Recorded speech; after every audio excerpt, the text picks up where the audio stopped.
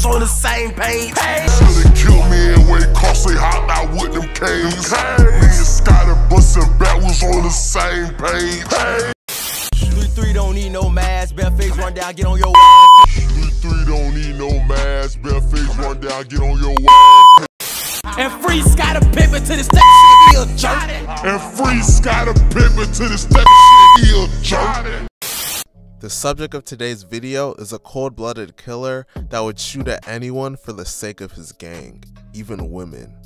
As you can see from this tweet, he's admitted to killing over 10 different people, but for the purpose of not starting rumors, I'm only going to talk about the murders he's been charged with and explicitly accused of. The subject of today's video is none other than ATK Scotty. He's Yungeen Ace's top shooter, and in this video we're going to be telling his story. But before we get into the video, please be sure to like and subscribe. Scotty, whose real name is Leroy Whitaker, is from Jacksonville, Florida.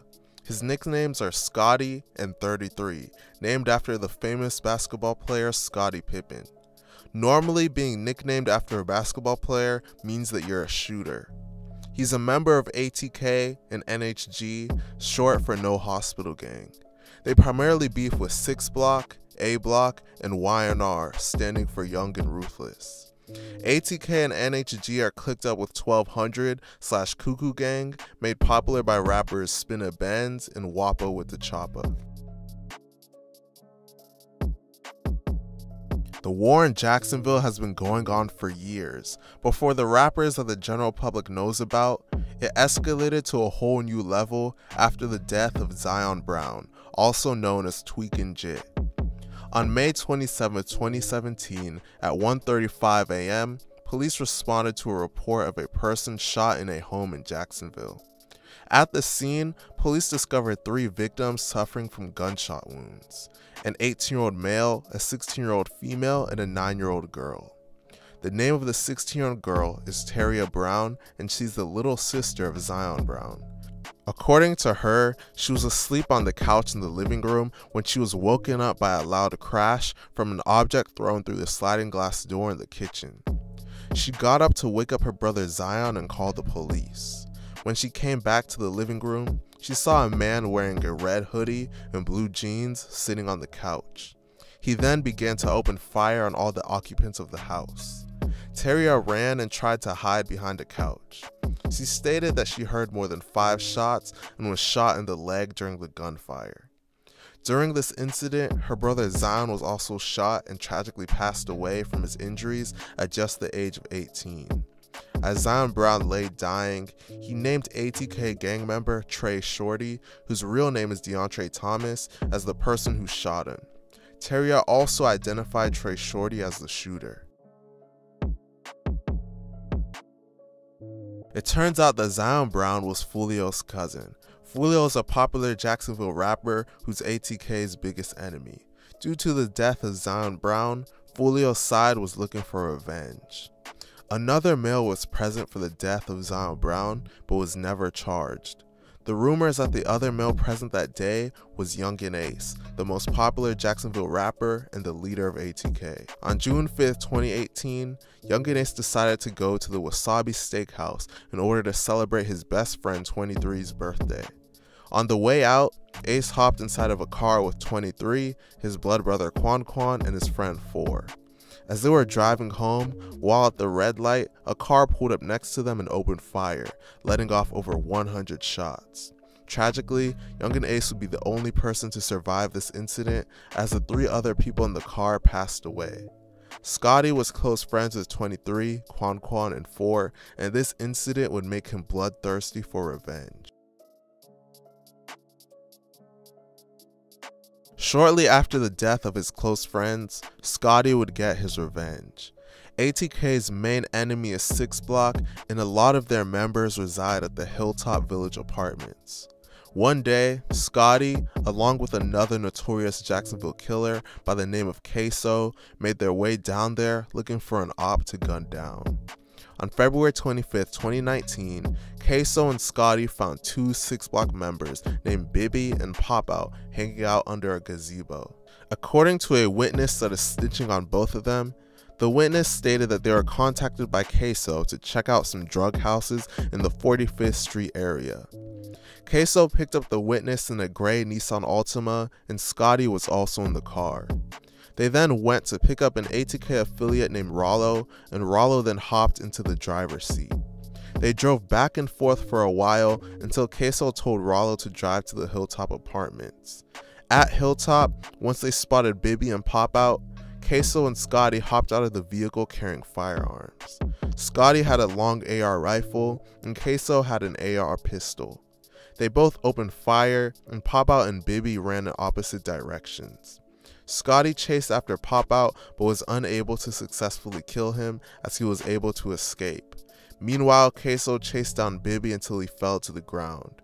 Queso then walked up to Bibby and shot him in the back of the head, leaving him dead at the scene. He was only 16 years old at the time. Following the death of Bibby, people from 6 Block would be out for revenge. On March 10, 2019, Yungeen Ace and his crew were in a parking lot at a Hampton Inn in Waycross, Georgia, when they were ambushed by multiple shooters. Queso and Scotty were there and shot back at their attackers, leading to a shootout. Queso referenced this incident in his song titled Been Dead, saying, Shoulda killed me in Waycross, they hopped out with them K's, me and Scotty busting back, we were on the same page. As the gunfire came to an end, police found 30 year old ATK member Rollo near the hotel's pool area. Rollo had multiple gunshot wounds to his body and was pronounced dead shortly after. Scotty, age 18 at the time, was arrested and charged with a marijuana misdemeanor, reckless conduct, and possession of a handgun without a license. Two years after the death of Zion Brown, an attempt on his sister Teria's life would be made. Allegedly, ATK put out a hit on Teria Brown in order to prevent her from testifying against Trey Shorty in court, as she was a victim and witness to the shooting. Apparently, Trey Shorty was threatening her from jail that someone would kill Teria if she testified against him. Around the two year anniversary of her brother's death, an attempt on Teria's life was made. She was shot 14 times in a brutal attack. After the shooting, Teria's mother made a post on Facebook accusing Scotty of being the one that shot her. ATK member Ybeezy was actually the one charged in the shooting, but he was cleared of all charges when he was able to prove that he was at a basketball tournament at the time. In her Facebook post, Teria and Zion's mom stated that the police got Ybeezy and Scotty mixed up since they kind of look alike, and that Scotty was actually the one that shot her daughter. However, Scotty was never charged in the shooting. On January 15, 2020, a Jacksonville police officer observed an unknown suspect at 7001 Merrill Road standing over and shooting a male victim, later identified as 6 block member Little Buck. Little Buck died as a result of the gunshot wounds that he sustained. Multiple witnesses were located who witnessed the incident and saw the suspect who shot Buck get into a gray Nissan Altima, which then sped away from the shopping plaza. The police officer pursued the vehicle and a high speed chase ensued. Eventually, the Nissan crashed in a residential neighborhood, and the three suspects exited the vehicle and fled on foot.